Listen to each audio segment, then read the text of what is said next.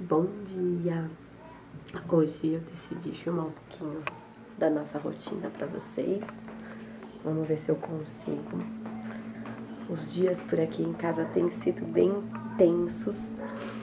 E acho que até por isso que eu resolvi gravar pra contar um pouquinho pra vocês, pra gente conversar um pouquinho. Vamos ver se eu consigo gravar, né? É, eu tô aproveitando que o Matheus ainda tá dormindo, só o Arthur acordou. Na verdade, o Matheus já acordou, mas aí eu dei uma mamadeira pra ele, ele voltou a dormir. O que me deixou um pouquinho feliz, porque ele não pediu peito. Eu não sei se vocês sabem, não sei se eu já disse aqui, mas já disse em várias redes sociais que eu tô enfrentando um momento muito complicado com o Matheus em questão ao desmame, em questão à amamentação. E eu quero fazer um vídeo só sobre isso para explicar para vocês o que, que tá acontecendo. Muita gente tá me perguntando se eu desmamei o Matheus, o que, que eu fiz. Então eu quero fazer um vídeo só sobre isso, mas hoje eu vou, vou tentar falar um pouquinho por cima.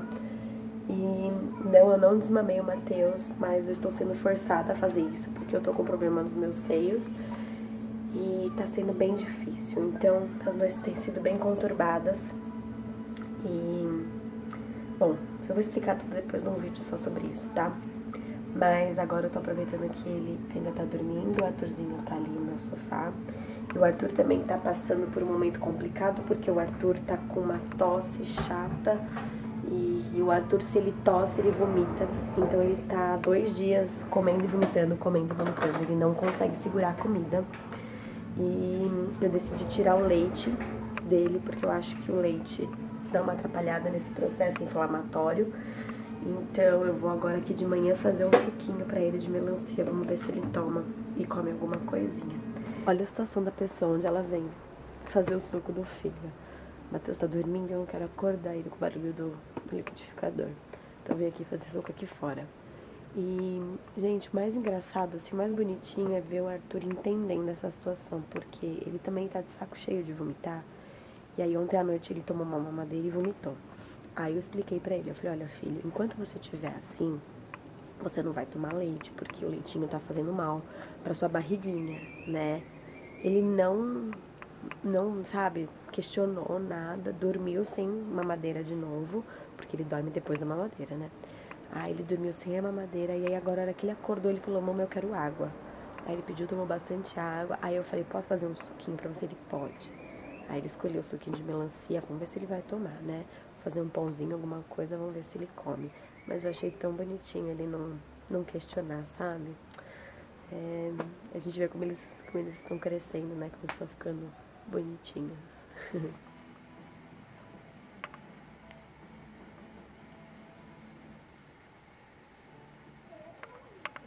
tá gostoso? Ai, que bom, filho.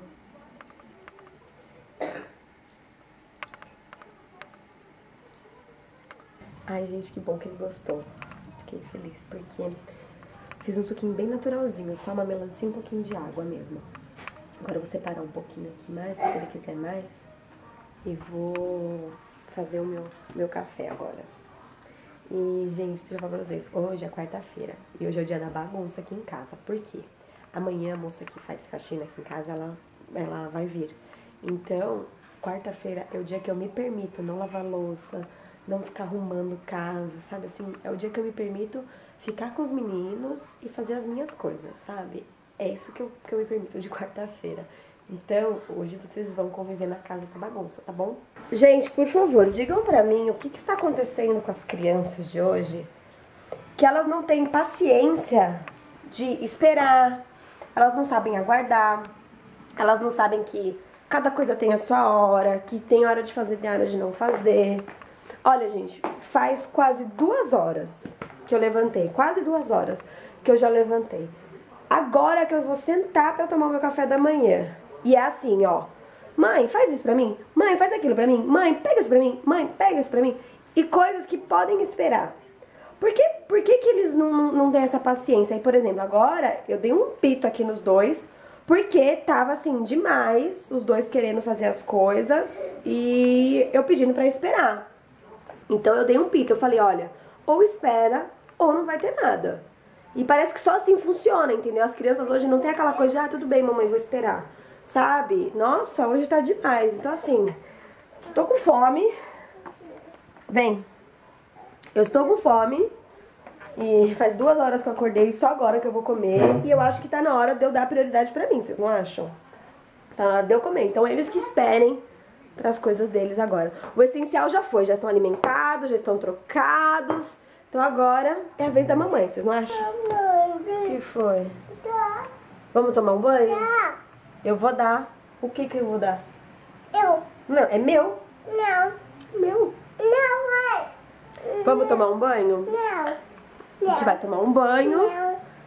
Nós decidimos que hoje Arthur não vai pra escola porque ele está vomitando demais. Então ele vai ficar em repouso na casa da minha sogra com ela. E se até amanhã esse vômito, essa tosse não melhorar, eu vou falar com o médico porque não dá pra ele ficar comendo e vomitando, comendo e vomitando, né? Ele precisa se alimentar. Então hoje ele vai ficar em repouso na minha sogra. E amanhã, se continuar assim, a gente vê o que a gente faz, se a gente marca uma consulta, Não. o que, que a gente faz. Não. Agora a gente vai tomar banho, eu vou tomar banho com esse mocinho aqui que tá nervoso, né? Eu tomo banho com ele porque não dá pra deixar ele igual o Arthur. O Arthur fica aqui assistindo o filme quietinho, eu deixo a porta do banheiro aberta, qualquer coisa ele vai lá. O Matheus não tem como, né? Mas eu vou tomar um banho rapidinho com o Matheus e é tipo assim, banho de 5 minutos, sabe? E já me volto.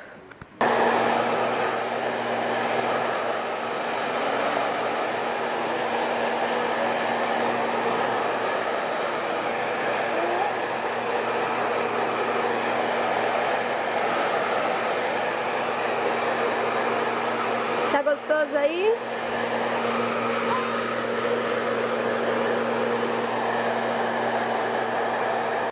Bom, gente, pra variar, atrasados, né? Por sorte, meu pai tá aí. Já me ajudou a pegar o Matheus e levar lá pra baixo pra gente almoçar. Porque está chovendo, chovendo bastante. E agora eu vou descer com o Arthur. E a gente vai almoçar. E depois é, o Arthur não vai pra escola hoje e o Matheus vai comigo. Né, filho? Por exemplo, Por, por exemplo, isso, né? eu não quero. Vai ficar na casa da vovó, tá bom? Peraí, peraí, peraí. Mamãe vai pegar o guarda-chuva. Arthur, vem pra cá. Gente, são 20 pra meia-noite. Meu dia ainda não acabou. Eu fui trabalhar. O Arthur não foi pra escola, lembra que eu falei pra vocês. Aí, a hora que eu saí do trabalho, eu fui comer uma pizza com o pessoal do trabalho aqui do lado, bem pertinho aqui mesmo. Gente foi comer uma pizza num food truck que tem aqui do lado, muito gostoso. Aí comemos a pizza. Aí eu passei na minha sogra pra ver o Arthur como é que ele tava, né? Pra ver se ele tava melhor tal. Aí cheguei lá, ele tava vomitando. Acabado de vomitar. Aí ele me viu lá e quis vir embora comigo, não quis ficar lá, porque ele ia dormir lá, porque amanhã ele também não vai pra escola, porque já que ele não tava muito bem, eu não ia mandar ele pra escola amanhã também, né? Então eu falei, ah, ele fica ali, né? Fica lá na minha sogra. Mas ele não quis. Aí a gente tava voltando pra casa. Ele pediu pra parar o carro, que ele queria vomitar de novo. Aí eu parei, ele vomitou muito.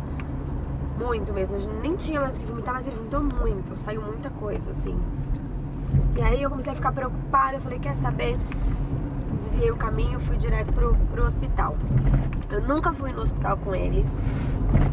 Nunca fui, nunca fui no hospital com o Arthur, mas sei lá, eu comecei a sentir que eu precisava ir porque. Ah, eu não sei, eu fiquei com medo de piorar, sabe? E sei lá, e amanhã, assim, durante, durante a manhã é mais difícil eu conseguir me virar com ele, assim, porque eu tô com o Matheus e com ele sozinha em casa, não tem com que eu deixar o Matheus, sabe aquela coisa toda? Então eu falei, deixa eu ir agora que meu marido já tá em casa com o Matheus. Eu vou agora no médico com ele e vejo o que que tem, né? Aí fomos, gente, no hospital. Chegamos nove e meia da noite no hospital, ó. Nessa hora, ó, meia quase meia-noite é a hora que eu tô indo pra casa. Mas enfim, fomos atendidos e ele tá com um quadro alérgico. Ele tá com uma rinite alérgica bem forte. E o médico pediu um raio-x e aí nós fizemos o raio-x e deu. Gente, graças a Deus que eu fui. Porque o médico falou assim: olha, ele não está com pneumonia, mas está quase. Porque ele tá com uma secreção muito perigosa no pulmão. Tá muito cheio e tá muito perigoso. Então tem que começar a tratar agora, porque isso pode virar uma pneumonia, né? Ai, gente, olha, olha como o coração de manhã é, né? Ainda bem que eu fui. Então a gente tá voltando agora do pronto-socorro. Já comprei antibiótico, já comprei remédio, ele vai tomar corticoide e. Antibiótico, né? Vai entrar no antibiótico. E por cinco dias. Aí vamos ver se melhora, né, gente? Mas. Ai. Mas é isso, tá, gente? Tô indo pra casa aqui agora e por hoje chega, né? Por hoje já deu. Tá bom, gente? Então é isso. Boa noite pra vocês, gente. Tchau, tchau.